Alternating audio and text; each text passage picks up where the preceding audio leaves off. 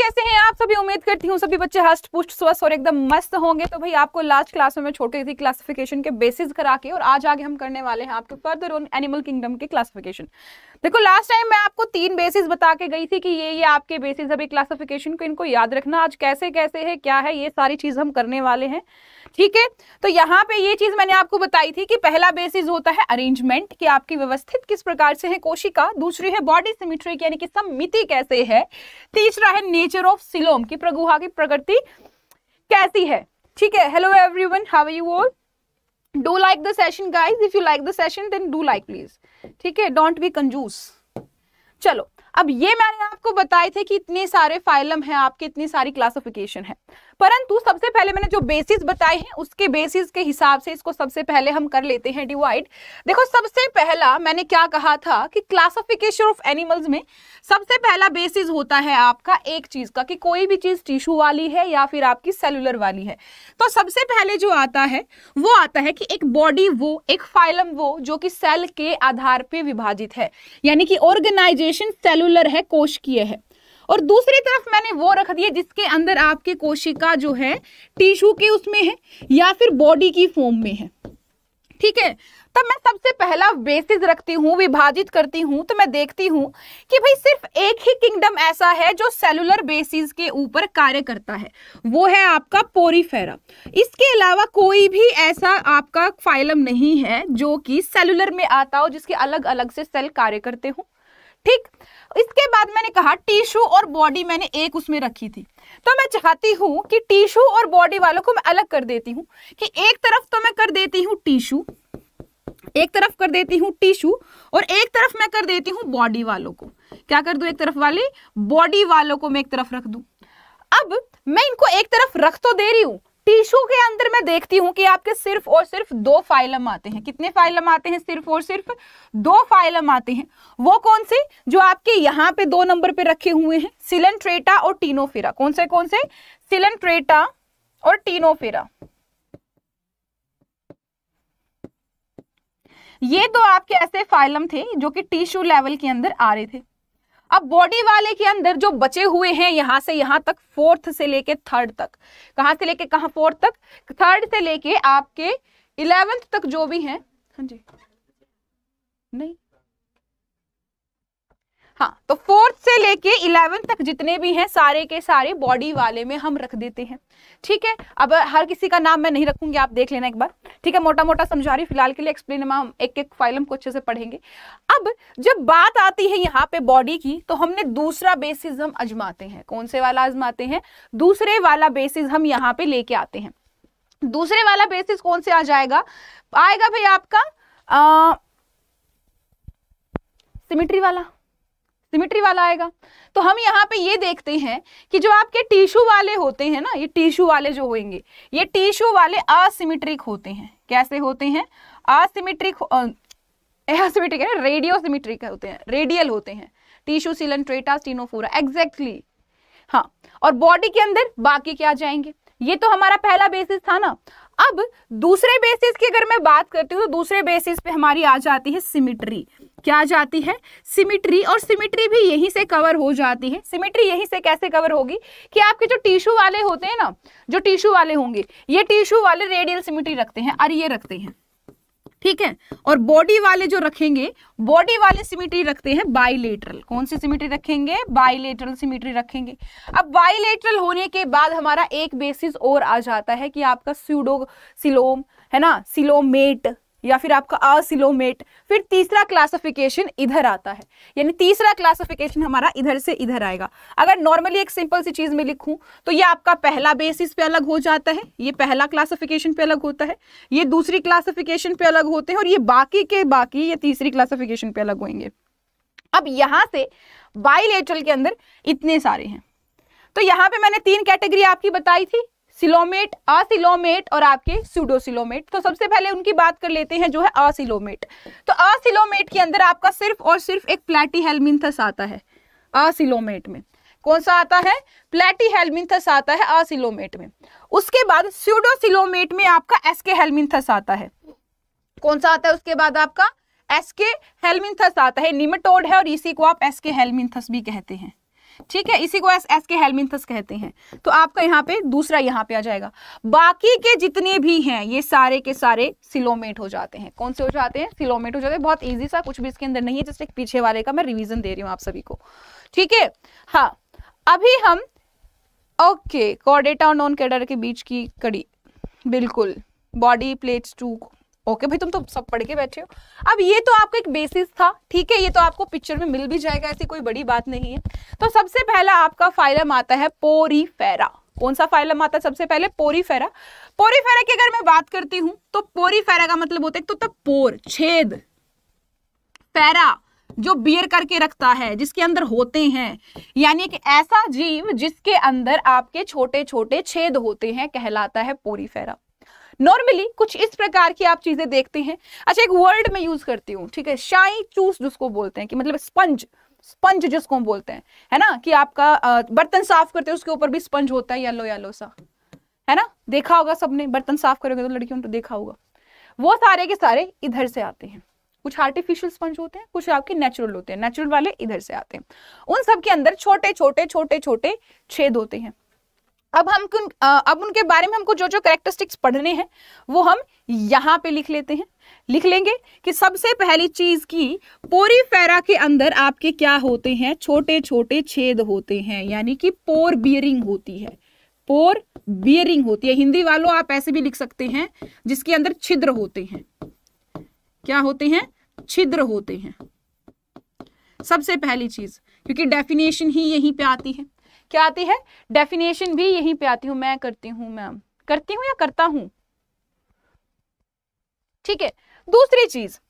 Multi cellular होते हैं बहु बहुकोशिकीय होते हैं ये आपके।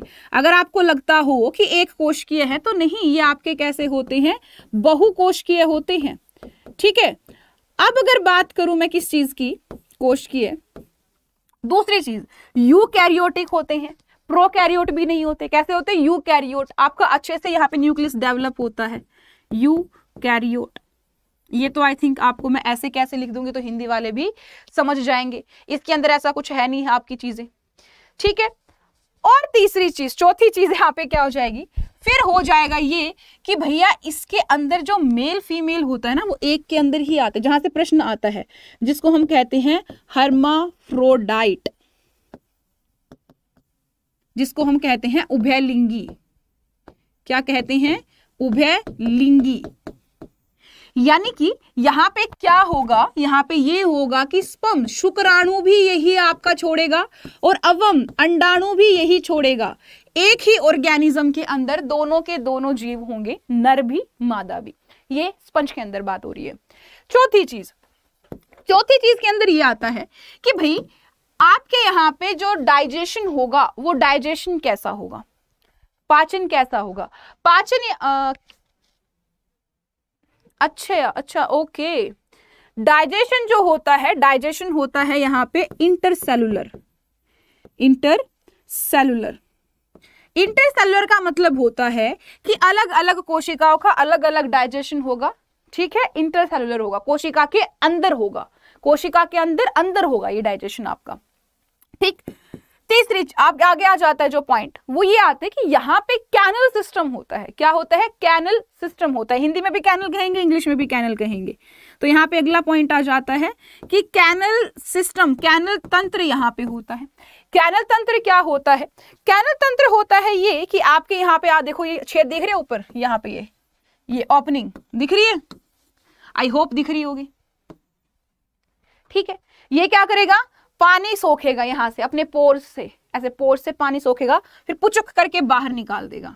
पानी फिर सोखेगा, यानी उसके खाने पीने की चीज़ अंदर आ गई है, पानी अंदर आया, खाने पीने की चीज़ें आई। अपने अपने सेल ने हर एक सेल ने अपने खाने पीने की चीज़ें इकट्ठे की, अपना वेस्ट बदले में दे दिया, फिर ये बाहर निकल गया। यानी पानी अंदर आएगा, बाहर जाएगा, अंदर आएगा, बाहर जाएगा, ये चीज़ यहाँ पे होगी। और ये कैनल सिस्टम होता है। ठीक है? तो यहाँ पे क्या हो जाएगा आपका? ये कैनल सिस्टम यहाँ पे प्रेजेंट होता है कैनल तंत्र यहाँ पे प्रेजेंट होता है। एक जगह पे स्थायी होते हैं मूवमेंट नहीं करते हैं। क्या होते हैं? स्थायी होते हैं। स्थायी होते हैं मूवमेंट नहीं होती नॉन मूवेबल मूवेबल नहीं होते हैं, मूवमेंट नहीं करते हैं, जहाँ पे उगेंगे वहीं पे जीवन काल इनका जाएगा। ठीक है? बहुत बेसिक सी चीज़ है, बहुत छोटी सी चीज़ है, इसके अंदर ऐसा कुछ नहीं है कि जो आपको समझ में ना आए। अगर फिर भी नहीं आता है तो आप मुझे बता सकते हैं, ऐसी कोई बात नहीं है। ठीक है?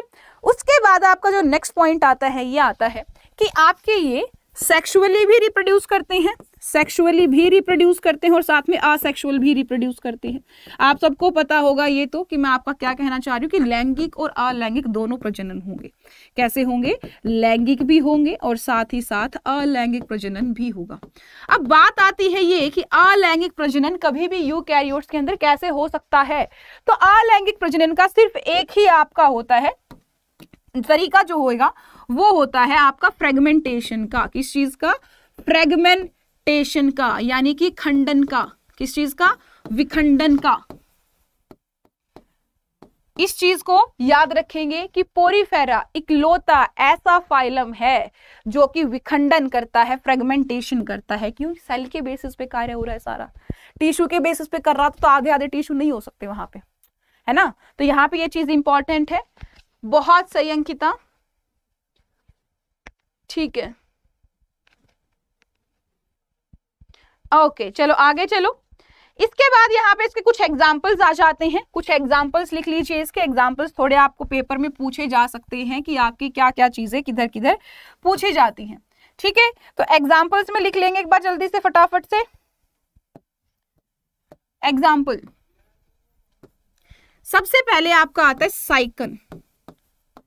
साइकन आता है, जिसको हम स्पंज कहते हैं I am so good I am so good and have you Sycon Spongilla Spongilla और यू स्पोन्जिया। ये इसके एग्ज़ाम्पल हो जाते हैं और यही आपके नॉर्मली पूछे भी जाते हैं। यही नॉर्मली क्या होते हैं? पूछे भी जाते हैं। तो आपका यहाँ से आई होप कि सारा का सारा जो है क्लियर हो गया होगा। अगर किसी को नहीं हुआ है तो आप मुझे बता सकते हैं, ऐसी कोई दिक्कत वाली, तकलीफ़ वाली बात है नहीं। ठीक है? और जल्दी से मुझे इसका स्क्रीनशॉट ले लें अगर आप लेना चाहते हैं, नहीं तो मैं आगे बढ़ती हूँ। ठीक है? और यू स्पॉन्जिया को हम बात बात स्पंज भी कहते हैं। ओहो हो इसको हम क्या कहते हैं? बात स्पंज भी कहते हैं। पुराने टाइम पे इनका नहाने धोने में इस्तेमाल होता था। ठीक है? ओके बहुत सही, अंकिता पारिक, बहुत सही। वेरी गुड आगे। एक चीज़ और लिख लेना, सारे के सारे एक्वेटिक होते हैं ये। एक्वेटिक पानी में होते हैं। ठीक है? चलो। इसके बाद आपका सेकंड नंबर पे फाइलम आता है, जो है सिलेंट्रेटा अब मैंने यहाँ पे एक जगह सिलेंट्रेटा लिखा है, फिर ब्रैकेट के अंदर मैंने यहाँ पे नाइडेरिया लिखा है, वो क्यों लिखा है? कि सबसे पहले आपका एक अगला फाइलम था ना जो, ये वाला, टीनोफोरा और आपका नाइडेरिया ये पहले एक ही फाइलम में रखे जाते थे जो जिसका नाम था सिलेंट्रेटा परंतु बाद में कुछ हमको ऐसा पता चलता है कि एक ऐसी करेक्टरिस्टिक है कि अपने आप ही जैसे आपका जुगनू चमकता है ना, वो वाली करेक्टरिस्टिक कुछ ऑर्गेनिजम्स में थी तो वो हमने टीनोफोरा में रख दी और जिनके अंदर वो करेक्टरिस्टिक नहीं थी, उनको हमने रख दिया किसके अंदर नाइडेरिया के अंदर, यानी कि सिलेंट्रेटा में ही उनको रहने दिया। ये चीज़ याद रखेंगे, कई बार बच्चे कंफ्यूज हो जाते हैं कि जो पहले पढ़ चुके होंगे, उनको लगा कि मैम सिलेंट्रेटा तो एक ही होता है ना? लाइक टीनोफेरा भी वही है नाइडेरिया भी वही है। तो आपका ये अलग अलग क्यों कर रहा है? अभी ये अलग हो चुके हैं, ठीक है? रिसेंट रिसेंट तो मैं कहूँगी काफ़ी टाइम हो चुका है इनको, ठीक है? परंतु पहले पहले हम पढ़ते थे एक में, पर अभी अलग अलग है। अगर इनके मैं बात करूँ सिलेंट्रेटा की तो आपको यहाँ पे ये भी एक्वेटिक होते हैं सारे के सारे। कैसे होते हैं? ये भी सारे के सारे आपके एक्वेटिक होते हैं, यानी कि जलीय होते हैं। एक्वेटिक का मतलब क्या होता है आपका? जलीय ये होते हैं। ठीक है भाई? पानी में मिलेंगे। पानी आपका कुछ भी हो सकता है फ्रेश भी हो सकता है फ्रेश भी हो सकता है और साथ में मराइन भी हो सकता है, यानी कि ताज़ा पानी भी हो सकता है और आपका लवणीय भी हो सकता है। ठीक है? दोनों चीज़ें आपको मिलेंगी यहाँ पे, लवणीय। नोट कर लेना, वैसे तो आपको पीडीएफ मिल ही जाएगी। नाइटोब्लास्ट हाँ एक चीज़ रह गई वहाँ पे, एक चीज़ रह गई यहाँ पे। यहाँ पे एक चीज़ ये रह गई, लिख लेना स्पिक्यूज होते हैं इसमें। क्या होते हैं? स्पिक्यूल्स प्रेजेंट होते हैं इसके अंदर। छोटे छोटे से कांटे से होते हैं।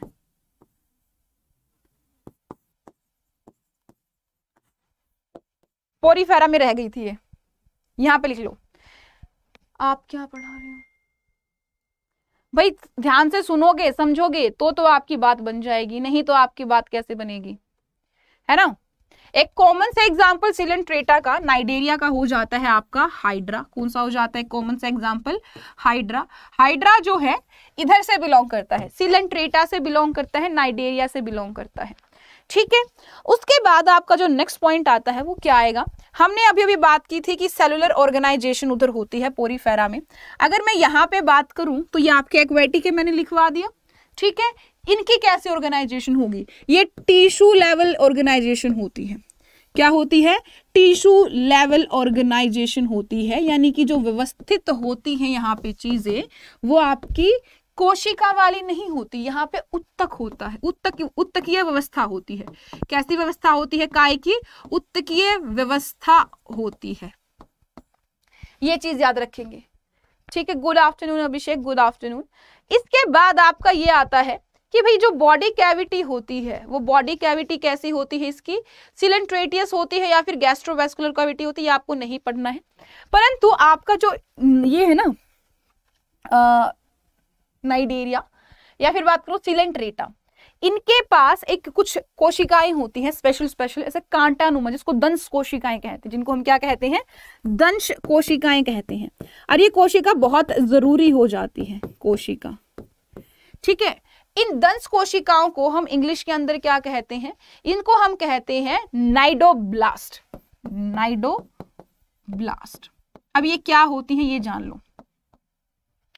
मान लो आपको लग रहा होगा हाइड्रा क्यूट क्यूट सा, वहाँ पे कोई अटैक ही नहीं करेगा, कुछ करेगा ही नहीं। परंतु ऐसा नहीं है। अगर मान लो हाइड्रा के पास कोई आ जाता है यहाँ पे, ठीक है? मान लो हाइड्रा के ऊपर किसी ने अटैक कर दिया तो इसके इधर ना, इसके इधर छोटे छोटे से छोटे छोटे से कांटेनुमा कोशिकाएँ होती हैं। वो हाइड्रा क्या करेगा? उस चीज़ को ऐसे जैसे आएगा, उसको पकड़ लेगा। और उसके जो कांटे होंगे ना, उस कांटों को जिसको भी पकड़ेगा ना, उसके अंदर घुसा देगा। ठीक है? ताकि फिर उधर से जहर अपना उसके अंदर डाल देगा। फिर वो मर जाएगा। यानी कि डिफेंस के लिए, किस चीज़ के लिए? डिफेंस के लिए वो इस्तेमाल करता है दंश कोशिकाओं का। ठीक है? ये लिख लेंगे इंपॉर्टेंट है डिफेंस के लिए, रक्षा के लिए। रक्षा के लिए इस्तेमाल की जाती हैं ये। ठीक है? नाइडोब्लास्ट बिल्कुल, अंकिता, बिल्कुल। ये आपकी पूछी जाती है दंश कोशिकाएँ। चलो, एक होमवर्क दे दिया जाता है आपको। होमवर्क बहुत इंपॉर्टेंट है। अगर आपको लग रहा है कि इंपॉर्टेंट नहीं है तो बहुत इंपॉर्टेंट है। आपसे मैं एक सिंपल सी चीज़ पूछ रही हूँ, बहुत सिंपल सी, कि मुझे एक सिंपल सी चीज़ ये बता दो कि जो हाइड्रा होती है ना हाइड्रा उस हाइड्रा का पॉइजन का नाम क्या होता है? हाइड्रा का जो जहर होता है, उसका नाम क्या है? ये मैं आपसे पूछ रही हूँ, ये आप लोगों के लिए क्या है? होमवर्क है और आप मुझे ये बताने वाले हैं कमेंट बॉक्स में। जब ये वीडियो खत्म हो जाएगी तो उसके बाद आप कमेंट बॉक्स में मुझे बताएँगे कि आपका कौन सा पॉइजन हाइड्रा के द्वारा श्रावित किया जाता है, क्योंकि वो इंपॉर्टेंट है। क्या है वो? इंपॉर्टेंट है। ठीक है? अगर बात करूँ यहाँ पे इसकी मैं रिप्रोडक्शन की, यानी कि इसकी प्रजनन की तो प्रजनन इसका सेक्सुअल भी होता है और असेक्सुअल भी होता है। यानी कि लैंगिक भी होगा, अलैंगिक भी होगा। सेक्सुअल की अगर मैं बात करूँ तो सेक्सुअल के अंदर आपका सिर्फ़ एक ही यहाँ पे आएगा, जैसे कि हाइड्रा की बात कर लो तो हाइड्रा में आपकी बडिंग आ जाती है, जिसको हम हिंदी में कहते हैं मुकुलन विधि। क्या कह देते हैं? मुकुलन विधि हम उसको कह देते हैं, वो चीज़ आपकी यहाँ पे आ जाएगी। एग्ज़ाम्पल के लिए आप हाइड्रा दे सकते हैं हाइड्रा को हम सबको पता है कि भाई बडिंग वहाँ पे होती है। ठीक है? और इसके अलावा यहाँ पे आपको जो लिखना है, वो क्या करना है कि यहाँ पे रेस्पिरेशन इतने ज़्यादा इफ़ेक्ट नहीं है यहाँ पे, कि बात हो रेस्पिरेशन की या फिर आपके एक्सक्रीशन की। एक्स रेस्पिरेशन हो या एक्सक्रीशन हो, इसको मैं लिखवा दूँगी अभी हिंदी में डोंट वरी ये दोनों की दोनों चीज़ें आपकी कैसे होती हैं? बॉडी सरफेस से होती हैं। किससे होएगी? बॉडी सरफेस से होगी। अपनी त्वचा से वो करते हैं, ठीक है? बॉडी सरफेस से होता है ये आपका। हिंदी में लिख देती हूँ। स्वश्न और उत्सर्जन। ये दोनों ही चीज़ें कैसे होंगे? काय की सतह से। काय की सतह से। ठीक है? यहीं से प्रश्न आएगा। आपका जो जहाँ तक मैंने प्रश्न आया है, वो यहीं पे रह जाता है, या तो यहाँ पे रह जाएगा वो। ये पूछ लेगा, हाइड्रा का पॉइजन इसीलिए मैंने आपको एज अ होमवर्क दिया है। ठीक है आसेक्सुअल में बडिंग दे देगा दंश कोशिकाओं के बारे में पूछ लेगा। इसके अलावा यहाँ पे नाइडेरिया के बारे में पूछने के लिए कुछ भी इतना खास नहीं है। टिश्यू लेवल का होता है, ये हम सबको पता है, इतना बेसिक कोई भी नहीं पूछता है। गुड आफ्टरनून इतना बेसिक कोई भी नहीं पूछता है। ठीक है अब बात कर लेते हैं इसके एग्जाम्पल्स की। किसकी बात कर लेते हैं इसी के? एग्जाम्पल्स की बात कर लेते हैं क्योंकि इसके एग्ज़ाम्पल थोड़े बहुत आपको इंपॉर्टेंट लग सकते हैं। जैसे कि सबसे पहला एग्ज़ाम्पल आपका आ जाता है हाइड्रा का। किसका आ जाता है आपका? हाइड्रा का सबसे पहले एग्ज़ाम्पल आ जाता है। हम सबको पता है अभी अभी मैंने इसके बारे में खास चीज़ बताई है कि भैया आपका हाइड्रा जो है आ सेक्शन में बडिंग करता है। परंतु कई बार पूछा जाता है कि डिस्कवर किसने किया? तो ये डिस्कवर हाइड्रा को डिस्कवर करने वाले थे ल्यूविन हॉक कौन थे? ल्यूविन होक थे भैया ये। ठीक है, लिख लेना। हिंदी, इंग्लिश, समानी। नाम तो नाम रहता है, हिंदी में लिखे या इंग्लिश में। ठीक है? Okay okay Nakesh. ठीक है भाई। उसके बाद आपका यहाँ पे दूसरा एक आता है एग्ज़ाम्पल जिसका नाम है फाइसीलिया क्या कहा जाता है? फाइसेलिया कहा जाता है। फाइसेलिया की अगर मैं बात करूँ, फाइसेलिया, इसके लिए एक नाम दिया जाता है। इसके लिए एक नाम दिया जाता है, अगर आपको ध्यान हो, पोर्तुगीज मैन ऑफ़ वॉर। क्या कहा जाता है इसको? पोर्तुगीज मैन ऑफ़ वॉर कहा जाता है। Portuguese man of war. कई बार आप देखते होंगे कि भाई पोर्तुगीज मैन ऑफ़ वॉर किस, किसको बोला जाता है? तो आप वहाँ पे सोचते हो किसी का नाम होगा हिस्ट्री का प्रश्न होगा, बेटा साइंस का प्रश्न है, वो फाइसेलिया को बोला जाता है। किसको बोला जाता है? फाइसेलिया को बोला जाता है। अब तो चेंज अच्छा।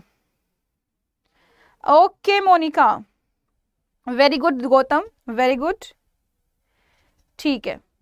साथ में इसका और भी हो जाते हैं, जैसे कि आपका तीसरा एग्ज़ाम्पल लिख सकते हैं आप। तीसरा एग्ज़ाम्पल हो जाएगा ओबेलिया का। ये जस्ट एक वैसे नॉर्मल लिखा रही हूँ। इसके अंदर ऐसा कुछ नहीं है कि आपको कुछ ज़्यादा ही पढ़ना है। ओबेलिया एक नॉर्मल से एग्ज़ाम्पल है। आएगा तो ठीक है, नहीं आएगा तो ठीक है। अच्छा आपस में ही बात कर रहे हो तुम तो। ठीक है? उसके बाद ओरेलिया आ जाता है। ओरेलिया ओरेलिया के बाद एक छोटी सी चीज़ जो आपकी आ जाएगी कौन सी? कोरल रीफ पाँचवें नंबर पे कोरल ये एग्ज़ाम्पल है। यहाँ पे ये इंपॉर्टेंट है। ये इंपॉर्टेंट है। इनको याद कर लेना। ठीक है? उसके बाद नेक्स्ट फाइलम आता है आपका टीनोफेरा देखो, अगर करेक्टरिस्टिक्स की अगर मैं बात करूँ तो आपकी जितनी भी करेक्टरिस्टिक्स होती हैं, सारी की सारी मोस्टली ये रिजेंबल करती हैं, ये मिलती हैं किसके साथ? ये मिलती हैं आपकी पीछे वाले किंगडम के साथ, जो है नाइडेरिया परंतु एक चीज़ नहीं मिलती। एक्सेप्शन होती है यहाँ पे। किस चीज़ की एक्सेप्शन एक्सेप्शन होती है? एक चीज़ की एक्सेप्शन है जो इसको अलग कर देती है दूसरे से। वो एक्सेप्शन ये होती है कि ये आपके क्या होती है? द्विस्पीति होती है, यानी कि आप जीव स्पीति जिसको हम कह देते हैं, है ना? यानी कि बायोल्यूमिनेसेंस की फीचर यहाँ पे होता है। एक्सेप्शन किस चीज़ में है? बायोल्यूमिनिसेंस। बायो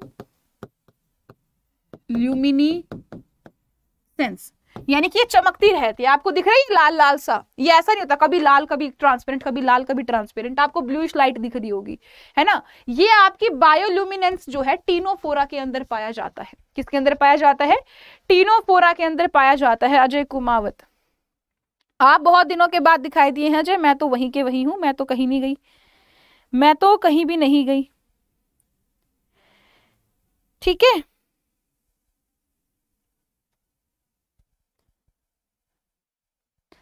हाँ यहाँ पे आपको ज़्यादा कुछ भी याद नहीं करना है, आपको बस इतना ही याद करना है सेम करेक्टरिस्टिक नाइडेरिया के साथ है, पर यहाँ पे एक चीज़ अलग हो जाएगी ल्यूमिनेंस वाली। यहाँ पे एग्ज़ाम्पल पे आप लिख सकते हैं जेलीफिश इसके अलावा हम इसमें ज़्यादा नहीं करेंगे, क्योंकि जो इंपॉर्टेंट चीज़ हमको नहीं करनी है, वो हम इतना क्यों करना है उस चीज़ को यार, है ना? एग्ज़ाम्पल में लिख लीजिए जेलीफिश कुछ जेलीफिश है जो इसके एग्ज़ाम्पल है। ठीक है? इसके आगे बढ़ते हैं हम। इसके आगे अगर मैं बढ़ूं तो आपका जो नेक्स्ट फाइलम आता है, वो आता है प्लेटी हेलमिंथस का। प्लेटी हेलमिंथस होते क्या? देखो, यहाँ पे आपको नाम दिख रहे होगे प्लेटी हेलमिंथस यहाँ पे दो चीज़ें हैं। एक तो है आपका प्लेटी प्लेटी का मतलब होता है, कोई भी चीज़ आपकी कैसी है? फ्लैट है। कैसी है? फ्लैट चपटी है बिल्कुल। कैसी है? चपटी हुई है। दूसरी चीज़ यहाँ पे है हेलमिंथस और हेलमिंथस का मतलब होता है कीड़ा। कैसा होता है? क्या होता है? कीड़ा, यानी ऐसे कीड़े जो आपके चपटे चपटे होते हैं, जैसे कि आपको यहाँ पे दिख रहा होगा, एक पत्ती नुमा, बिल्कुल पतले पतले से कीड़े हैं। इनको हम किस कैटेगरी में रखते हैं? प्लेटी हेलमिंथस की कैटेगरी में रखते हैं। अगर मान लो बिल्कुल चपटे हुए हैं तो सीधी सी बात है, सिलोम तो इनके अंदर प्रेजेंट होगा नहीं। ठीक है? सिलोम तो इनके अंदर प्रेजेंट होगा नहीं तो इसके करेक्टरिस्टिक्स देख लेते हैं करेक्टरिस्टिक क्या क्या होता है। यहाँ पे चीज़ लिख लेना भाई जो जो इसमें आए। सबसे पहली करेक्टरिस्टिक आप क्या लिखते हैं प्लेटी हेलमिंथस में? कि प्लेटी हेलमिंथस को, प्लेटी, ओके, प्लेटी हेलमिंथस ही है। ठीक है। प्लेटी हेलमिंथस जो है, एक नाम से जाना जाता है, वो नाम है फ्लैट वो किससे फ्लैट वोम के नाम से जाना जाता है, यानी कि चपटे कीड़ों के नाम से इसको जानते हैं हम। ठीक है, किसके नाम से जानते हैं? चपटे कीड़ों के नाम से जानते हैं। आसिलोमेट होता है। आसिलोमेट होता है, यानी कि आप कह सकते हैं, आगुहीय होता है। कोई भी गुहा नहीं होता है, गुहा नहीं होती है। ठीक है, याद रखना इंपॉर्टेंट चीज़ है फ्लैट बिल्कुल बिल्कुल फ्लैट होता है। बिल्कुल। ठीक है, और यहाँ पे कई बार पूछ लिया जाता है फ्लैट वोम कैसे, जैसे कि रिबन लाइक स्ट्रक्चर होती है उनकी रिबन ठीक है? या फिर आप बात कर लो, कोई भी पतली सी फ्लैट चीज़ है तो उसका भी वहाँ पे नाम आ जाता है। ठीक है? उसके बाद यहाँ पे खास चीज़ क्या है? खास चीज़ ये है कि इनके पास एक स्पेशल सेल है, जिसको हम कहते हैं फ्लेम सेल जिसको कहते हैं। ज्वाला कोशिका जिसको हम कहते हैं। अब ये इंपॉर्टेंट इंपॉर्टेंट चीज़ें ना, ये कोशिकाएँ हैं, यही आपकी आती हैं पेपर में। आपको पता होगा कि भाई जो खास चीज़ अलग सी चीज़ होती है, वही चीज़ पूछी जाती है। अब फ्लेम सेल का काम क्या होता है? फ्लेम सेल होती है एक्सक्रीशन के लिए। किसके लिए? एक्सक्रीशन के लिए होती है, यानी कि उत्सर्जन के लिए होती है। क्या चीज़ उत्सर्जित तो होनी है? ठीक है? क्या चीज़ आपकी उत्सर्जित होनी है? जो भी वेस्ट आपका बाहर निकलना है, वो सारी की सारी चीज़ें किसमें आ जाती हैं? आपकी फ्लेम सेल में आ जाती हैं, यानी कि ज्वाला कोशिकाओं में आ जाती है। ठीक है? एक minute guys just give me a second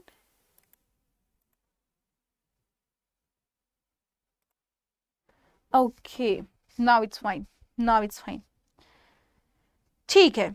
और इन्हीं को, इन्हीं फ्लेम सेल को सोलिनोसाइट भी कहा जाता है। याद रख रखना, सोलिनोसाइट। इसी का नाम होता है। इसके अलावा यहाँ पे आपको ज़्यादा प्रश्न देखने को नहीं मिलेंगे, ज़्यादा क्वेश्चंस देखने को नहीं मिलेंगे। एक चीज़ यहाँ पे आएगी आपकी, ठीक है? एक चीज़ यहाँ पे आएगी, जैसे कि बात करूँ किस चीज़ की, कि ये भी हर्माफ्रोडाइट होते हैं। ये भी कैसे होते हैं? हर्मा फ्रोडाइट होते हैं और आपको मैं समझा चुकी हूँ कि हर्माफ्रोडाइट क्या होते हैं, जिसको हम कहते हैं उभय लिंगी, यानी कि दोनों ही लिंग इसी के अंदर पाए जाते हैं। ठीक है?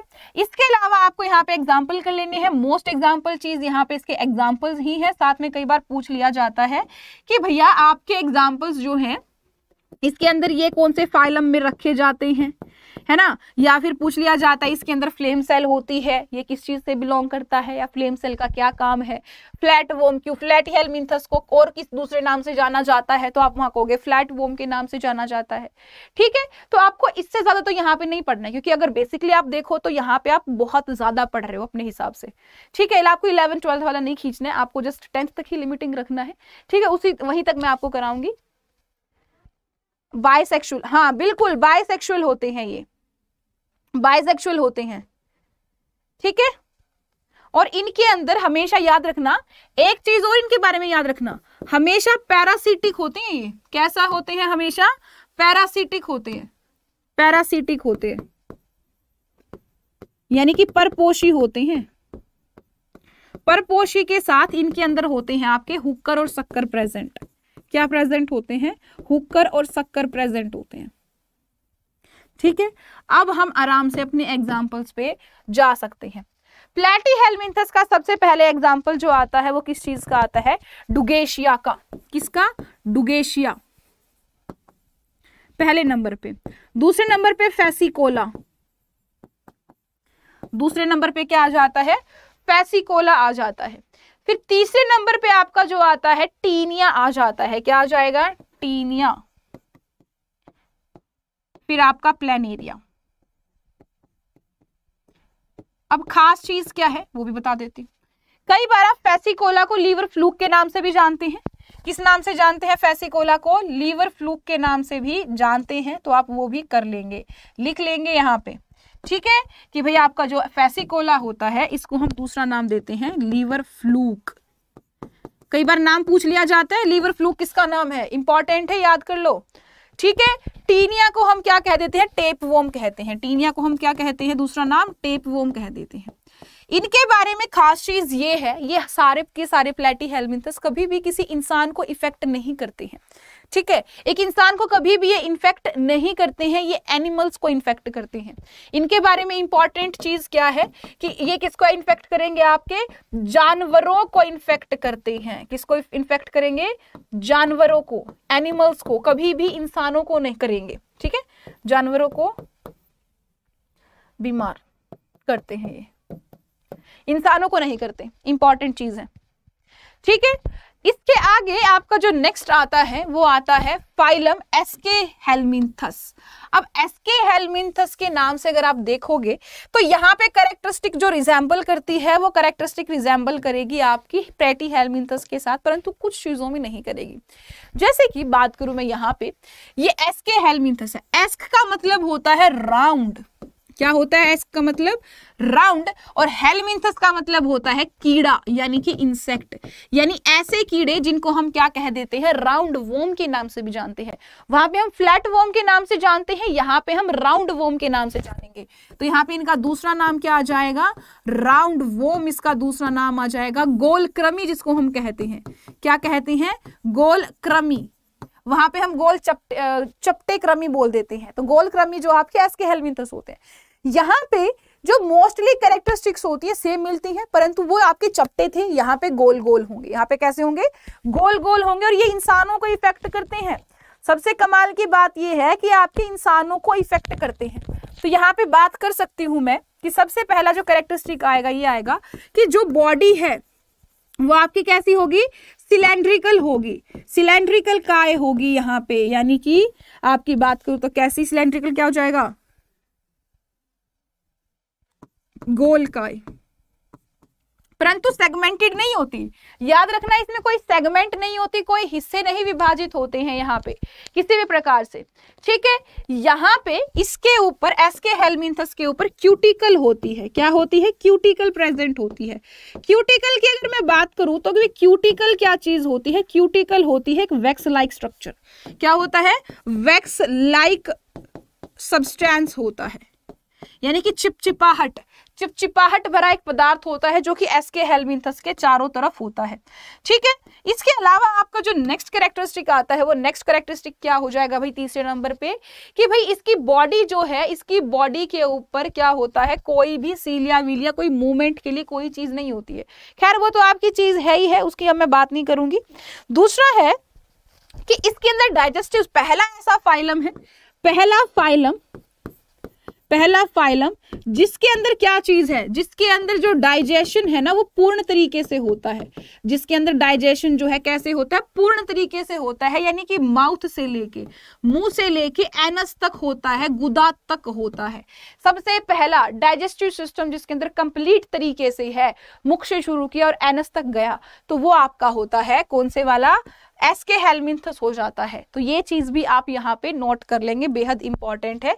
इसको यहाँ पे मैं लिख दी देती हूँ कि स्टार लगा देती हूँ इस पे। स्टार लगा देती हूँ इंपॉर्टेंट चीज़ है ये। आपको लग रहा होगा इंपॉर्टेंट नहीं है, पर ये बहुत इंपॉर्टेंट है। ठीक है, इसको लिख लेंगे। हाँ जी। इसके बारे में एक चीज़ आप लिख लेंगे यहाँ पे कि एक्सक्रीशन जो है एक्सक्रीशन कैसे भी हो सकता है ग्लैंड सेल से भी हो सकता है और इंट्रासेलुलर भी हो सकता है। यहाँ पे ग्लैंड सेल नाम की चीज़ होती है। क्या होती है? यहाँ पे ग्लैंड सेल नाम की चीज़ होती है जो कि एक्सक्रीशन में मदद करती है। यानी कि उत्सर्जन में मदद करती है। ये चीज़ याद रखना यहाँ पे। ठीक है? इसके अलावा और क्या याद रखना है आपको भाई? और ये याद रखना है कि इसके अंदर असेक्सुअल रिप्रोडक्शन नहीं होता है। असेक्सुअल रिप्रोडक्शन नहीं होता है एबसेंट होता है। तो मैं यहाँ पे क्या लिखूँगी? असेक्सुअल रिप्रोडक्शन एबसेंट परंतु आप कहोगे, मैम, यहाँ पे हमने एक शब्द सुना था। खैर, आपने तो शब्द सुना ही नहीं, मैंने एग्ज़ाम्पल दिए ही नहीं। प्लेन एरिया प्लान एरिया के अंदर आपकी फ्रेगमेंटेशन होती है तो कई बच्चे ऐसे सोचते हैं कि प्लान एरिया जो है एस के हेलमिंथस का होता है। परंतु एस के हेलमिंथस का नहीं होता एक्चुअल में वो आपका प्लेटी हेलमिंथस में काउंट होता है। ठीक है, उसका एग्ज़ाम्पल है। तो यहाँ पे ये पॉइंट आप याद रखेंगे तो बहुत ध्यान में रहेंगे और याद रखना ये वाला पॉइंट इंपॉर्टेंट है यहाँ पे। आपका यहाँ पे असेक्सुअल रिप्रोडक्शन नहीं होता है एबसेंट होता है ग्लैंड सेल होते हैं उत्सर्जन के लिए।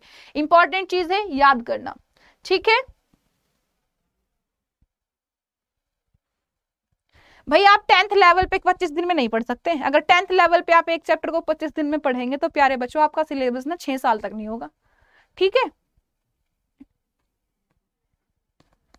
ठीक है? इसके अलावा, क्योंकि मैंने अभी अभी कहा कि असेक्सुअल रिप्रोडक्शन जो है भाई यहाँ पे नहीं होता है। और इसके अलावा एक चीज़ मैं और आपको बता देती हूँ यहाँ पे सेक्सुअल होगा ना? तो हमने पहले क्या पढ़ा था? प्लेटी हेलमिनथस में कि हर्माफ्रोडाइट था। एक के अंदर मेल दूसरे के अंदर फीमेल दोनों एक ही में थे। परंतु यहाँ पे ऐसा नहीं हो रहा था। यहाँ पे मेल अलग था और फीमेल अलग थी। तो मैं यहाँ पे कह सकती हूँ कि जब सेक्सुअल रिप्रोडक्शन होगा, जो सेक्सेस होते हैं, जो जेंडर होते हैं, वो क्या होते हैं? डिफरेंट होते हैं अलग अलग होते हैं। यानी कि यहाँ पे मेल अलग होता है और फीमेल अलग होती है। ये चीज़ आप क्या कर लेंगे, ध्यान में रख लेंगे, क्योंकि ये है आपकी इंपॉर्टेंट ये क्या है आपकी? इंपॉर्टेंट है। ठीक है? यानी कि यहाँ पे नर और मादा होते हैं। नर और मादा अलग अलग होते हैं। ठीक है? अलैंगिक प्रजनन नहीं होता है। अलैंगिक नहीं होता। याद रखना इस चीज़ को। ठीक है? याद रखना भाई इस चीज़ को। एग्ज़ाम्पल के लिए यहाँ पे नाम ऑलरेडी गिवन है। मुझे बताने की आवश्यकता ही नहीं है। आपका एनसाइक्लोस्टोमेटा वाउचेरिया एस्कैरिस रेबाडिट्स ठीक है? रेबाडिट्स ये आपका ऑलरेडी यहाँ पे एग्ज़ाम्पल गिवन है तो मुझे एग्ज़ाम्पल देने की भी यहाँ पे आपको आवश्यकता नहीं है। ठीक है? जो आपको पॉइंट्स बता रही हूँ, वो याद कर लेना, बहुत रहेगा। उसके बाद आपका आता है एनालिडा जिसके बारे में आपके मोस्टली प्रश्न पूछे जाते हैं। क्या पूछे जाते हैं? मोस्टली क्वेश्चन पूछे जाते हैं। अगर आप एनालिडा की बात करो तो यहाँ पे एक शब्द देखते हो एनालिडा एनालिडा का मतलब क्या होता है? एनालिडा का मतलब होता है कि एन्युलर लाइक स्ट्रक्चर जिसके अंदर हो। क्या हो? एन्युलर स्ट्रक्चर जिसके अंदर हो, यानी कि एन्युलर होता है रिंग यानी कि छल्ला। कैसा? छल्ला नुमा गोल गोल छल्ले जिसके अंदर हो। जैसे कि अगर आप यहाँ पे देखो, इनको देखो।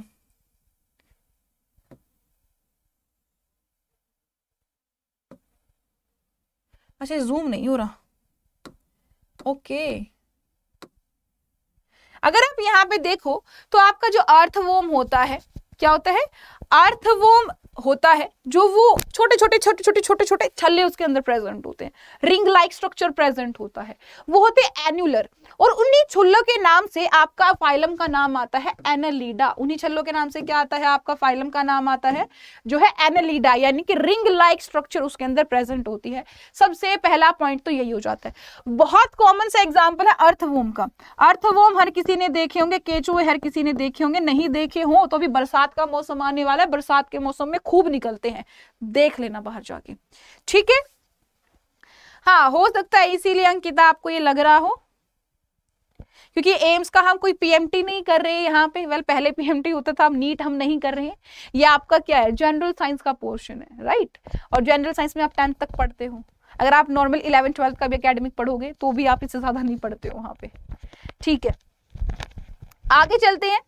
अगर मैं यहाँ पे बात करूँ आपके तो एक चीज़ यहाँ पे आ जाती है जो मैंने छल्लों की बात की थी। छल्लों की बात पे क्या होता है भाई? ये छल्ले हैं, इन एनुलर रिंग्स को हम एक नाम देते हैं। इस रिंग को हम नाम किस चीज़ का देते हैं कि इन छल्लों को एक एक छल्ले को हम एक नाम देते हैं, वो कहता है मेटामोर्फिज्म क्या होता है यहाँ पे? मेटामोर्फिज्म नाम दे देते हैं। ठीक है? क्या दे देंगे? मेटामोर्फिज्म नहीं मेटामेरिज्म देंगे शायद से। मेटामेरिज्म हो जाएगा। मैं भी कह रही हूँ मोर्फिज्म में तो कभी काय पलट हो जाएगी। मेटामेरिज्म मेटामेरिज्म कर लो इसको। खंड इसको हम कहते हैं। क्या कहते हैं? खंड। एक छल्ले को हम एक नाम देते हैं मेटामेरिज्म यानी यहाँ पे आपको छल्ला दिख रहा है छोटा सा। ये ऐसे ऐसे होगा। तो एक छल्ले को हम कहते हैं मेटामेरिज्म यानी कि खंड। ये इंपॉर्टेंट है, याद कर लेना। यहाँ पे लिख लेते हैं, चलो, कि एनुलर लाइक होते हैं। एनुलर या फिर रिंग लाइक होते हैं, जिसको हम कहते हैं छल्ला नुमा होते हैं। बॉडी ठीक? दूसरी चीज़ क्या? दूसरी चीज़ ये कि इनके अंदर एक खास चीज़ होती है जिसको हम कहते हैं नेफ्रीडिया, जहाँ से प्रश्न पूछा जाता है। नेफ्रीडिया। नेफ्रीडिया कहाँ पे आती है? नेफ्रीडिया आती है एक्सक्रीटरी सिस्टम में। कौन से में आती है? एक्सक्रीटरी सेल होती हैं, जो कि आपके सिर्फ़ और सिर्फ़ एनालिडा के अंदर ही प्रेजेंट होती है। ठीक है? हाँ वही तो मैंने कह दिया कि काया पलट ही हो जाएगा तो मैंने इसको करेक्ट कर दिया है मेटामेरिज्म कर दिया है डोंट वरी ठीक है? इसके अलावा आपका यहाँ पे और चीज़ें आ जाएँगी कि यहाँ पे होते हैं आपके पास परपूजिया। क्या होते हैं? यहाँ पे आपके पास हर रिंग के पास, हर मेटामेरिज्म के पास एक चीज़ होती है, जिसको बोलते हैं परपोडिया, जो कि आपकी मूवमेंट के लिए रिस्पॉन्सिबल होते हैं, यानी कि गतिशीलता के लिए इंपॉर्टेंट होते हैं। अगर पैरापोडिया ना हो तो वो आपके मूवमेंट नहीं करेंगे। और एक छल्ले को, एक रिंग को हम कहते हैं मेटामेरिज्म, जो मैंने पीछे भी लिखा है।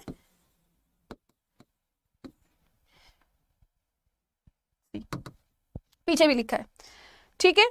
और ये खासियत होती है इसकी। कई बार इसी से प्रश्न, ज़्यादातर प्रश्न ना, यहीं से उठ के आ जाता है आपका। छल्लों से, कि उस खंड को क्या कहते हैं, खंड का क्या नाम है। ठीक है? आई होप आपको ये क्लियर होगा। ठीक है? अब यहाँ से खास चीज़ आती है इसके बारे में। खास चीज़ क्या? कि ये होते हैं हर्माफ्रोडाइट। ये कैसे होते हैं? हर्मा प्रोडाइट होते हैं, यानी कि मेल फीमेल इसी के अंदर आएगा। परंतु हर्माफ्रोडाइट होने के बाद भी एक चीज़ यहाँ पे होती है कि जो रिप्रोडक्शन होता है, वो सेक्सुअल होगा। कैसा होगा? रिप्रोडक्शन सेक्सुअल होगा। साथ में मोनोशियस भी यहाँ पे कहोगे आप एक प्रकार से। ठीक है कि मोनोशियस यहाँ पे ऑर्गेनिज्म है। कैसा ऑर्गेनिज्म मोनोशियस है। परंतु कभी भी एक ऑर्गेनिज्म के अंदर यहाँ पे रिप्रोडक्शन नहीं होता है। ये याद रखना, कभी भी एक अर्थवोम अपने आप में ही सेक्सुअल रिप्रोडक्शन नहीं करता है। उसको दूसरे की आवश्यकता पड़ेगी ही पड़ेगी। कैसे? अब आप कहोगे, मैम, ऐसे कैसे? देखो, यहाँ पे खंड होते हैं। मान लो यहाँ पे आपकी फीमेल का पार्ट है। ठीक है, यहाँ पे किसका पार्ट है? फीमेल का पार्ट है। यहाँ पे फीमेल पार्ट है। ठीक है? और मान लो यहाँ पे मेल का पार्ट है। कभी भी ऐसा नहीं होगा कि इधर से बता देती हूँ। ऐसे तो फिर दिक्कत हो जाएगी आपको। मान लो ये छल्ला नुमा है एनुलर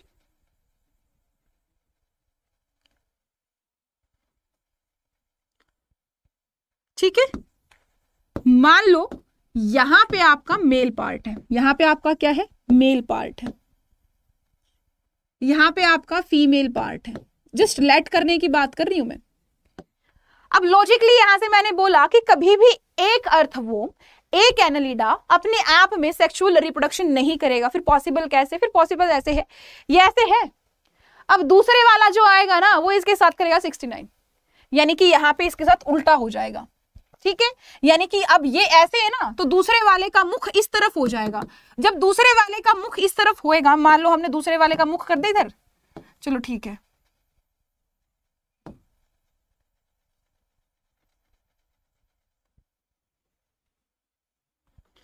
दूसरे वाले का मुख हो गया इधर।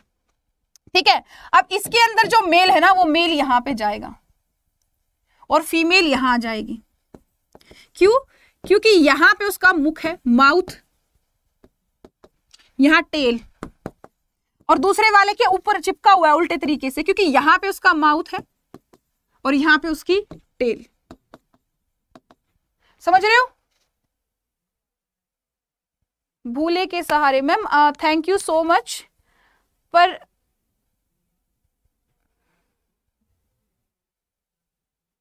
मोनोशियस और bisexual okay I clear out don't worry दोनों में बता दूँगी, कोई दिक्कत वाली बात नहीं है.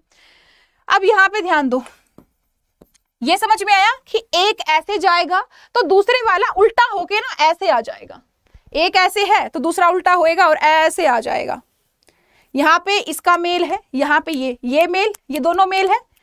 यहाँ पे ये फीमेल ये फीमेल ये मेल हो गया, ये ऐसे जाएँगे जाएँगे। यहाँ पे इसकी फीमेल होगी, यहाँ पे इसकी फीमेल होगी। दोनों का पैचअप हो गया। हो गया दोनों का पैचअप? तो आपका इस प्रकार से क्या होता है? रिप्रोडक्शन होता है। याद रखना इस चीज़ को। ठीक है? इंपॉर्टेंट है ये। कई बार बच्चे कंफ्यूज हो जाते हैं, सोचते हैं कि मैम हमारा ये, हमने तो ये बोला ही नहीं था। हमने तो ये किया ही नहीं था। हमें तो पता ही नहीं है, ऐसा होता है तो ऐसा ही होता है। इस चीज़ को याद रखना ठीक है?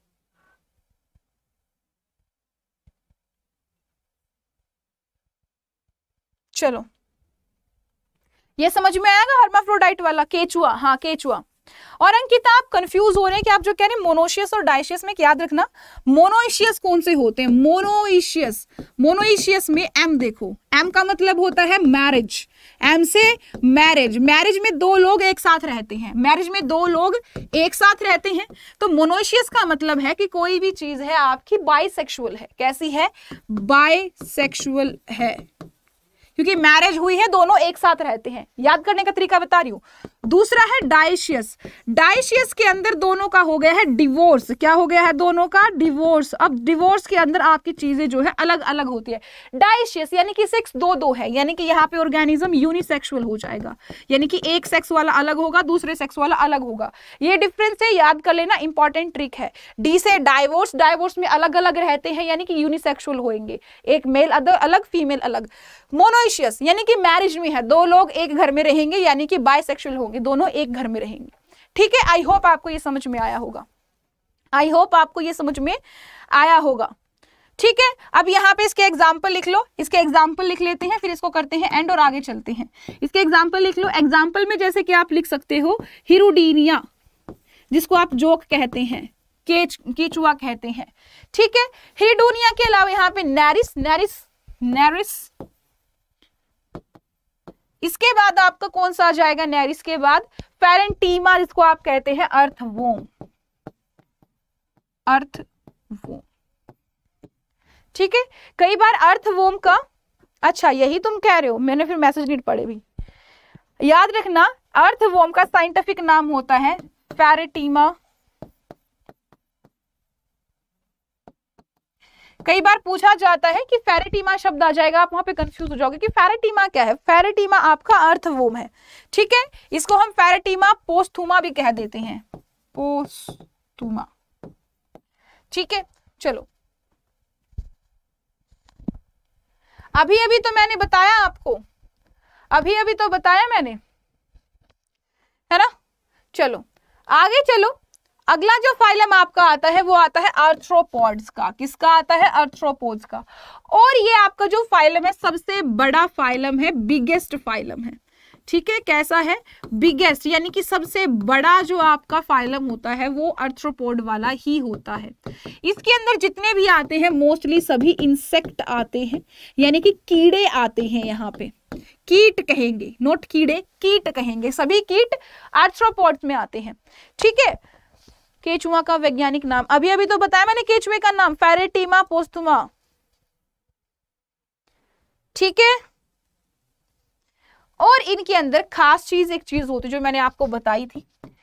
आई थिंक लाइकिन पंजाई हमने की थी। तब मैंने बताई थी कि इनका जो एक्सोस्केल्टन होता है, जो इनका बाह्य कंकाल होता है, वो बाह्य कंकाल किस चीज़ से मिलके बना हुआ होता है?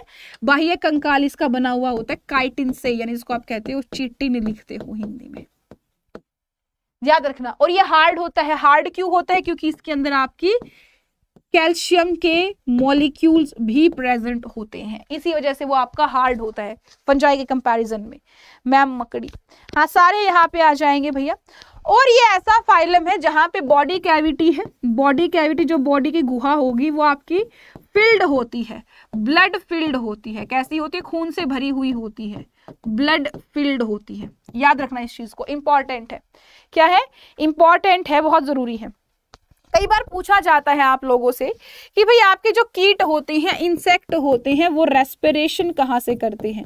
तो आपका श्वसन कहाँ से करेंगे? रेस्पिरेशन कहाँ से करेंगे? कई बार प्रश्न पूछा गया है तो आप उसका फटाक से आंसर कर देंगे। ट्रैकिया क्या आंसर कर देंगे? ट्रैकिया आप उसका आंसर कर देंगे। ठीक है? याद रखना कई बार आप पेपर में देखते हो ये चीज़। ठीक है? Seventy percent of total organism, बिल्कुल सही कह रहे हैं आप। वैसे तो बात ऐसी है कि यहाँ पे गिल्स भी होते हैं प्रेजेंट रेस्पिरेशन के लिए। क्या प्रेजेंट होते हैं? गिल्स भी प्रेजेंट होते हैं। ऐसे नहीं कि गिल्स नहीं होते, गिल्स भी प्रेजेंट होते हैं। प्लस में यहाँ पे बुक लंग्स होते हैं। खाली लंग्स नहीं कहते हैं उनको कहते हैं बुक लंग्स भी प्रेजेंट होते हैं। परंतु जो आपका most of the time trachea से ही होता है, प्रश्न पूछा जाता है ट्रैकिया पे तो आप इसको याद रखेंगे। ठीक है? इसके अलावा यहाँ पे और जो चीज़ आ जाता है, यहाँ पे आता है कि भाई जो आपका वस्कुलर सिस्टम होता है फिर ब्लड फ्लोइंग सिस्टम होता है, वो ओपन होता है। कैसा होता है? ओपन सर्कुलेटरी सिस्टम होता है। अब आप कहोगे, मैम ओपन कौन सा होता है? देखो सर्कुलेशन तो आपका हर कहीं होता है। खुला परिसंचरण तंत्र, लिख देती हूँ। खुला परिसंचरण तंत्र। यानी यहाँ पे कोई भी आपके पास वेसल्स नहीं होंगी, नसें नहीं होंगी, धमनियाँ नहीं होंगी, ये नहीं होती हैं। ह्यूमन की बात करो तो आपके पास दो प्रकार की वेसल्स आती है। एक आर्टरी होती है, एक वेन होती है, परंतु यहाँ पे ऐसा कुछ नहीं होता। ऐसे इसके वेसल वसल कुछ नहीं होता। एक बॉडी कैविटी के अंदर ब्लड आएगा, फिर ऑर्गन्स तक, फिर दोबारा कैविटी फिर ऑर्गन्स तक। ऐसा चलता है यहाँ पे। ठीक है? यानी कि सर्कुलेटरी सिस्टम ओपन होता है। छोटे मोटे डिफरेंस जो आपके यहाँ पे आ जाएँगे। ठीक है? मेलफिंजी कोशिकाएँ पाई जाती हैं। बिल्कुल पाई जाती हैं। यहाँ पे जो एक्सक्रीटरी ऑर्गन्स होता है, उनका नाम दिया जाता है। क्या दिया जाता है? एक्सक्रीटरी ऑर्गन्स को नाम दिया जाता है, जिसको हम दो चीज़ों से जानते हैं। या तो हम उसको कहते हैं ग्रीन ग्लैंड या तो हम उसको कहते हैं ग्रीन ग्लैंड या फिर हम कहते हैं उसको मेलफिंजी टेब्यूल क्या कहते हैं इसको? मेलफिंजी मेलफिजी ट्यूब्यूल्स हम उसको कहेंगे। और ये ट्यूब्यूल किस काम आती हैं? ये काम आती हैं एक्सक्रीशन के काम आती हैं। किसके काम? एक्सक्रीशन के काम आएगी, उत्सर्जन के काम आएँगी। कई बार पेपर में पूछा जाता है ग्रीन ग्लैंड करके। आप वहाँ पे ग्रीन ग्लैंड में भी क्या बताते हैं? आर्थ्रोपोड बताते हैं। परंतु ग्रीन ग्लैंड के जैसा ही एक शब्द और है जिसको हम कहते हैं प्रीन ग्लैंड क्या कह देते हैं? प्रीन ग्लैंड भी होती है। ये प्रीन ग्लैंड जो आपका होता है, ये बर्ड्स के अंदर होता है, ये आपके आर्थ्रोपोड्स के अंदर नहीं होता है। ध्यान रखना इस चीज़ का ग्रीन ग्लैंड में और प्रीन ग्लैंड में अंतर होता है। प्रीन ग्लैंड होती है बर्ड्स में, उनकी ऑयल ग्लैंड्स का नाम होता है। और ग्रीन ग्लैंड होती है आपके आर्थ्रोपोड्स में, यानी कि कीटो वाले फाइलम में। एक चीज़ है, बहुत इंपॉर्टेंट है ये। ठीक है? ओके अब यहाँ पे एक चीज़ आ जाती है शुरू, कि ये अंडे देना शुरू कर देते हैं। ये सारे के सारे ऑर्गेनिजम्स कैसे होते हैं? ओवीपोरस होते हैं। ये अंडे देना शुरू कर देते हैं। क्या कर देते हैं ये? अंडे देना शुरू कर देते हैं। तो लिख दू इनको? ओवीपोरस ओवीपोरस यानी कि अंडज अंडे देते हैं ये, अंडज। अंडे देने वाले जीव हैं ये। कैसे हैं? अंडे देने वाले जीव हैं। इसके साथ ही जो आपके एनिम ऑर्गेनिजम्स होंगे, वो यूनिसेक्सुअल होंगे, एक लिंगी होंगे। ठीक है? यानी मेल अलग होगा फीमेल अलग होगा। असेक्सुअल का यहाँ पे है ही नहीं कोई भी सीन डायरेक्ट यहाँ पे सेक्सुअल रिप्रोडक्शन होगा. यहाँ पे मेल भी होगी और यहाँ पे फीमेल भी होगी. यानी नर, मादा दोनों चीज़ें आपकी होंगी. याद रखिएगा इस चीज़ को इंपॉर्टेंट है. ठीक है? अंड हो जाएगा. ओके बर्ड्स में preen gland exactly exactly example के लिए आप ढेर सारे ही यहाँ पे लिख सकते हैं. कितना ही लिख लीजिए. कितने ही लिख लीजिए. यहाँ पे मैंने ऑलरेडी इतने सारे एग्ज़ाम्पल लिख रखे हैं. तो यहाँ पे ऐसे कैसे आपको मिल जाएगा? जैसे कि बात कर लो आप ड्रैगन फ्लाई की, मक्खी की, मच्छर की, है ना? मक्खी, मच्छर की बात कर लो, सारे के सारे तो इसी में आते हैं आर्थ्रोपोड्स में। कॉकरोच की बात कर लो, वो भी आपका किसमें आएगा? आर्थ्रोपोड्स के अंदर ही आएगा। तो आप जितने चाहो उतने जो है यहाँ पे कर सकते हैं एग्जाम्पल्स को याद। ठीक है? और अंडरायुज बिल्कुल सिल्क वॉर्म भी इसी के अंदर आ जाता है बटरफ्लाई भी इसी के अंदर आ जाता है। ठीक है? अब आता है आपका नेक्स्ट फाइलम जिसको हम कहते हैं मोलस्क। मोलस्क जो है आपका सेकंड बिगेस्ट है। दूसरे नंबर पे आता है बिगेस्ट होने में। ठीक है? अब इसके अंदर क्या चीज़ आती है? मोलस्क अगर शब्द को देखें तो मोलस्क मतलब का होता है कि आपकी सॉफ्ट बॉडीज क्या मतलब होता है? सॉफ्ट यानी कि नरम नरम त्वचा होगी यहाँ पे, नरम काय होगी सॉफ्ट बॉडी होगी। परंतु वो जो सॉफ्ट बॉडी होती है, वो एक शेल में, एक हार्ड कवरिंग के अंदर ढकी हुई होती है। ठीक है? वो आपके हो जाते हैं मोलस्क। जैसे कि आपने सिप्पियाँ देखी होंगी, सिप्पियाँ देखी हैं? सिपियों के अंदर आपके छोटे छोटे ऑर्गेनिजम्स आते हैं। आपने चाइनीज़ खाते रहते हैं या आपने रील्स तो इंस्टाग्राम पे ज़रूर देखी होंगी। वहाँ पे आप देखते हैं, वैसे सिपी को खोलते हैं, एक पर्ल निकाल लेते हैं। पर्ल निकालने के बाद उसके ऑर्गेनिज्म होते उसको खा लेते हैं। देखा होगा? है ना? तो वो आपका किसके अंदर आता है? वो आता है मोलस्क के अंदर। किसके अंदर आता है? मोलस्क के अंदर आता है। तो यहाँ पे याद रखना इस चीज़ को। एक चीज़ जो यहाँ पे आपके लिए इंपॉर्टेंट है क्या? कि जो सॉफ्ट बॉडी होती है ना यहाँ पे, चलो यहाँ पे लिख लेते हैं। हम्म soft organism soft body organism with cover with mantle mantle हम कहते हैं उस कवर को। जो कि कैसा होता है कैल्सीफेरस कवर होता है। कैसा होता है ये कवर आपका?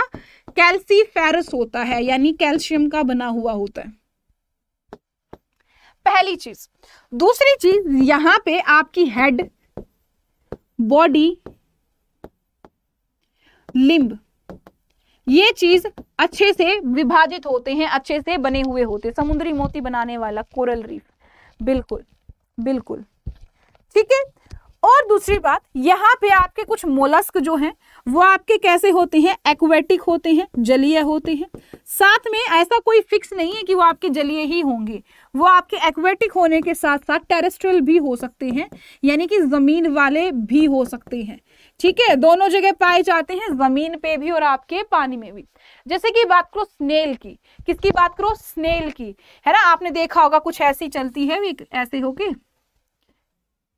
यहाँ पे एक ये एक ये, और इसके ऊपर ऐसे ऐसे ऐसे रहता है। देखा होगा ऐसा ऐसा कुछ?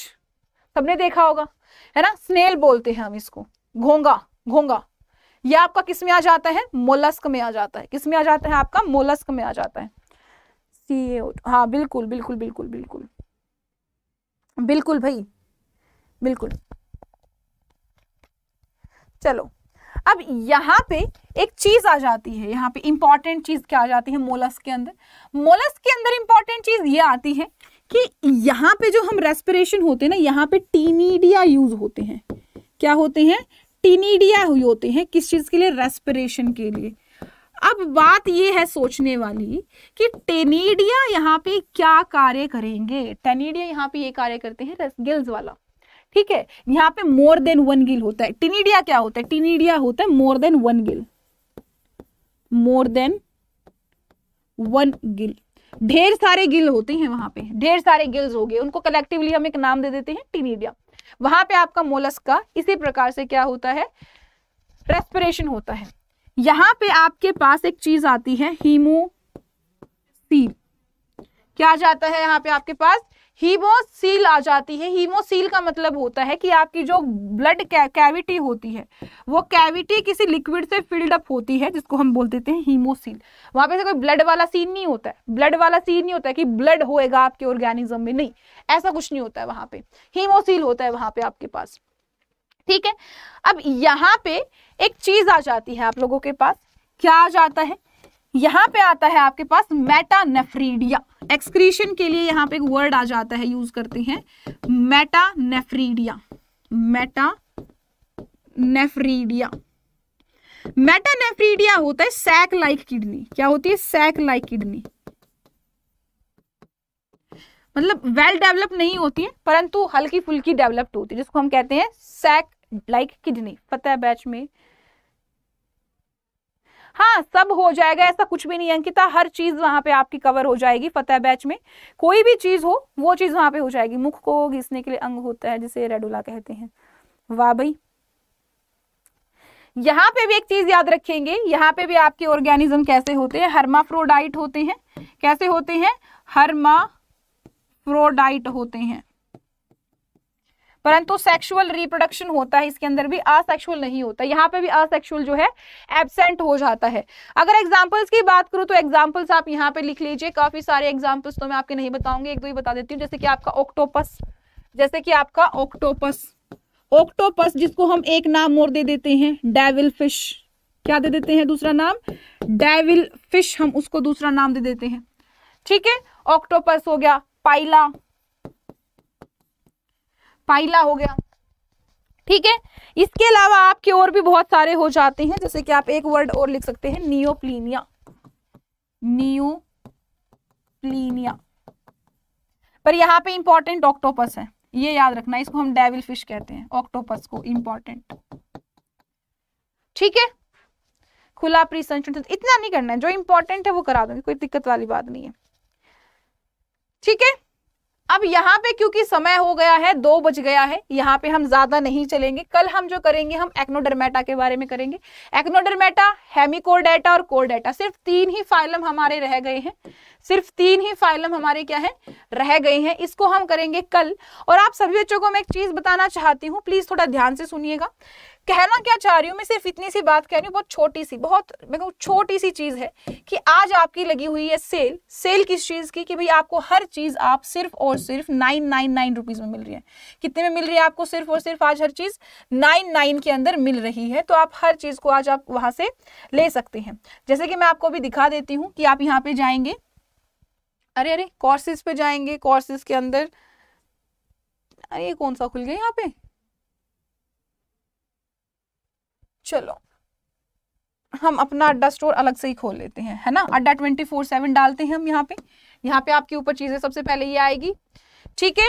और यहाँ पे जाएँगे आप ऑल कोर्सेज में, फिर आपका स्टेट एग्ज़ाम देन यहाँ पे राजस्थान राजस्थान के बाद आप यहाँ पे R S M S S B में जाओगे। तो यहाँ पे आपको फतेह बैच दिखाई दे रहा होगा। क्या दिखाई दे रहा होगा? फतेह बैच दिखाई दे रहा होगा, जिसका प्राइस आपको आज आप कम नज़र आ रहा होगा। अब जैसे ही आप यहाँ पे कोर्स में डालते हैं ऑफ़र क्या डालते हैं? जैसे ही आप यहाँ पे कोड डालते हैं कोड डालते ही आपका नाइन नाइन का हो जाएगा ये प्राइस ठीक है? देखे जरा। चलो ठीक है, देख लेते हैं भाई। होता है कि नहीं होता, देख तो लेते हैं ना। ये मैंने डाला मेरा कोड और मेरा कोड डालते ही आपका यहाँ पे कम हो जाता है प्राइस साथ में अगर मैं बात करूँ किस चीज़ की, महापैक की बात करूँ तो महापैक भी आपका यहाँ पे कम हो जाता है। क्या हो जाता है? कम हो जाता है। हर चीज़ आज आपको नाइन नाइन में मिल रही है।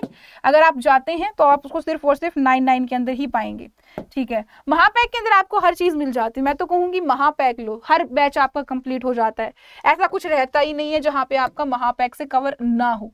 ठीक है? तो महापैक पे जाएँगे तो देखें जरा महापैक कम हो रहा है कि नहीं हो रहा है? Y, four four, three, R. अभी अगर आप देखेंगे कि हमने यहाँ पे कूपन लगाया है, जिस कूपन का क्या है कोड? कोड है यहाँ पे Y four four three R Y four four three R जैसे ही आपने ये कोड लगाया, आपका जो राजस्थान महापैक है, वो आपको नौ सौ पचहत्तर रुपए में मिल गया। है ना? इतना कम तो कुछ भी नहीं मिलेगा। और कमाल की बात यह है कि अगर आपके पास राजस्थान का महापैक है ना तो आप किसी भी क्लास में, किसी भी चीज़ में एंट्री ले सकते हैं। जैसे कि अगर मैं बात करूँ, आपको फतेह बैच ही लेना है तो आपको फतेह बैच ना लिया महापैक लेना महापैक से आप हर चीज़ पे एक्सेस कर पाएँगे। जैसे यहाँ पे मैं आपको दिखा देती हूँ, मैं क्या कहना चाह रही हूँ आपको। अच्छे से समझ आपको आ जाएगा कि महापैक एक्चुअल में है क्या। तो यहाँ पे अगर आप देखेंगे तो महापैक के अंदर लिखा हुआ है कि भाई आपको यहाँ पे यदि आप Rajasthan C T R S M S S B L D C junior account सारे के सारे जितने भी पेपर कर रहे हैं, ये कितने सारे पेपरों के नाम लिखे हुए ये सभी की सभी क्लासेस सिर्फ़ एक महापैक में हो जाएँगी। ठीक है? और जिसके साथ साथ आपको और भी दूसरी चीज़ें मिलती हैं। जैसे कि आपकी बात को लाइव क्लासेस भी, आपको जित कोई भी लाइव क्लास हो, किसी भी बैच की हो, आपको यहाँ पे फतेह बैच में मिल जाएगा। ठीक है? आपको सारी चीज़ वहाँ पे मिल जाएँगी। टेस्ट सीरीज़ लेनी है, वो भी आपको फ्री ऑफ़ कॉस्ट महापैक में मिल जाएँगी। रिवीजन बैच चाहिए, वो भी आपको फ्री ऑफ़ कॉस्ट महापैक में मिलेगा। ई बुक्स भी आपको वहाँ पे मिलेंगी। जो हम क्लास पढ़ाते हैं, वो रिकॉर्ड होके आपके ऐप में ही रहती हैं तो वो रिकॉर्डेड वीडियोस भी आपको वहाँ पे मिलेगी। पर्सनैलिटी डेवलपमेंट भी आपको वहाँ पे मिलेगी। अगर आपको वहाँ पे कोई ऐसा हम कुछ इवेंट करा रहे हैं, किसी और की कुछ मीटिंग वीटिंग करा रहे हैं, कोई अच्छी सी फैकल्टी है या फिर कोई अच्छा सा आपका कोई मैं कहूँ अच्छे से अहदे पे कोई इंसान बैठा है तो कई बार हम इंटरेक्टिव क्लासेस भी कराते हैं तो आपको वो चीज़ें भी यहाँ पे मिलाई मिल, मिलेंगी। हर हर सब्जेक्ट वहाँ पे कवर होता है महापैक के अंदर की Hindi English reasoning math economy सामान्य विज्ञान जो हम पढ़ रहे हैं कंप्यूटर एंड टेक्नोलॉजी भूगोल इंडिया आर्ट्स एंड कल्चर महिला एवं बाल अपराध Rajasthan history Rajasthan art and culture Indian history some important और भी दूसरे टॉपिक्स हैं। और ये जो आपके अलग से बायोलॉजी केमिस्ट्री फिजिक्स और करंट अफेयर पॉलिटी और इको हर सब्जेक्ट आपका वहाँ पे कवर होगा। और आपको पता तो है, यार, महापैक अगर आप ले लेते हैं तो आपके तो फ़ायदा ही है, कोई भी क्लास लगाओ। एग्ज़ाम तो आगे से आगे रहेंगे। अब आपको पता होगा कि भाई, जैसे ही हमारे क्या करते हैं, सरकार क्या करती है? दे देगी भाई हाँ ये नौकरी निकालेंगे। एकदम से नोटिस देगी, एक महीने बाद पेपर करा करा लेगी, तभी के तभी सडन होती है सारी चीज़ें। तो इतने टाइम में आप प्रिपेयर ही नहीं कर पाते हैं। तो अगर आप प्रिपेयर करना चाह तो आपके पास बहुत अच्छा मौका है अभी। आपको बस करना क्या है, वहाँ पे कोड लगाना है। ठीक है कोड यही लगाइएगा जो है Y four four three R इस कोड से आपको कितना हो जाएगा, महा और मैं सजेस्ट करी महापैक ही लीजिए। क्या लीजिए, महापैक ही लीजिए, इसके अंदर आप हर एग्ज़ाम के ऊपर एक्सेस कर पाएँगे। कोई भी क्लास राजस्थान अड्डा पे चल रही है, आप उस महापैक से कर पाएँगे। कॉस्ट कितनी है? इतनी ही कॉस्ट तो आपकी किसी और एग्ज़ाम वाले की होगी। इतनी ही कॉस्ट आपकी महापैक की है तो महापैक ले लो ना यार, फ़ायदा है, हर चीज़ आपको वहाँ पे मिल जाएगी। ठीक है? तो अभी के लिए, अभी के लिए अब हम लेते भाई आपसे अलविदा। कल फिर मिलेंगे आपसे ठीक एक बजे।